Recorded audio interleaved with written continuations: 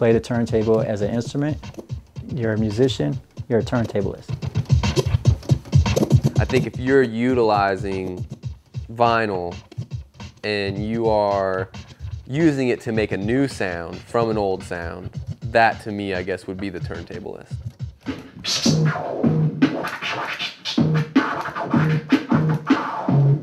Any form of scratching, I would consider turntablism, and I and I guess turntablism goes more towards the the musical side of things. If you pick up a stick off the ground and bang it against a five gallon bucket in some type of rhythm, you are a musician. Uh, and I think the turntablist just means that you're using it as an instrument to create your own original sounds.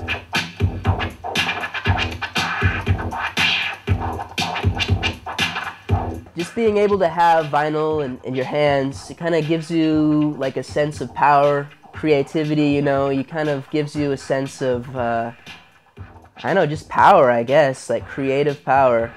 Just being able to do whatever you want.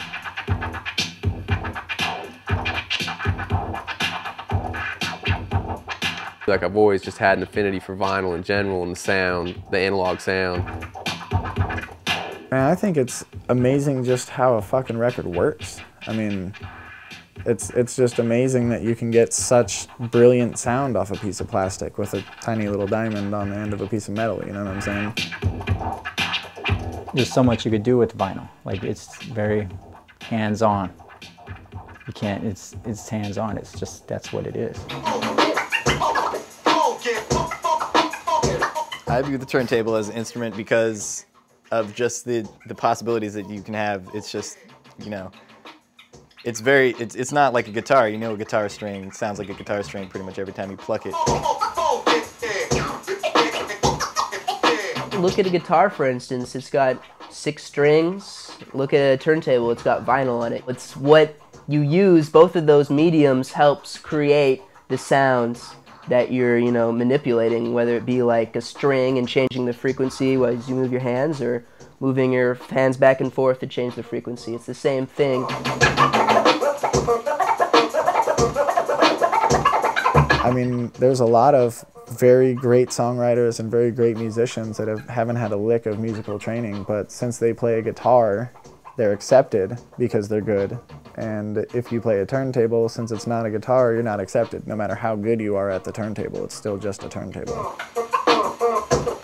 I definitely see the record player as uh, as being an instrument, and I think that in some ways, I mean that kind of depends on whoever's using the instrument because it can it can be just a record player and just be used to reproduce sound and play the records, but um, you know if the person, if the turntablist takes it upon themselves to to manipulate that vinyl and to make something new out of it, then you know then you do have a, a musical instrument and it is being used to do that.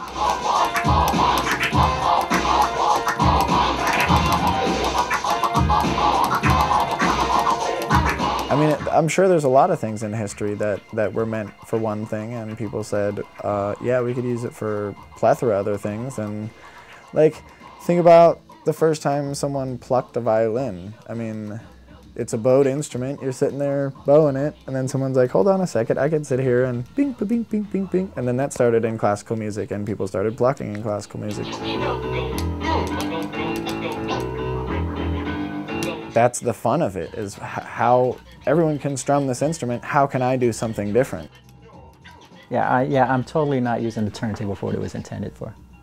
I think it was intended for music playback, and we're doing something totally different with that. You know, everybody will get kind of weirded out when you're just playing a record and you start touching it. They, you know, it's it's weird to a lot of people.